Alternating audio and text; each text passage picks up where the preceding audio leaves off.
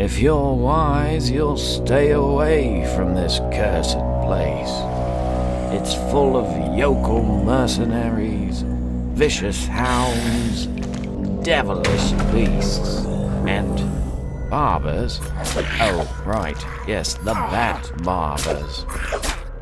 Whatever you may be where you're from, doctor, thief, or hunter, well, you'll be no more than a fool here. So stay away from Gloomwood this Halloween.